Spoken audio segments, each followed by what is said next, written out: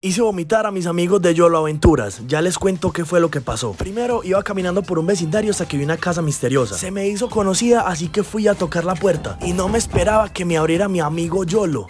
Hola. Bueno, pues entramos rápidamente y ellos me dijeron que tenían mucha hambre. Así que compré estos dulces mexicanos para que los probáramos.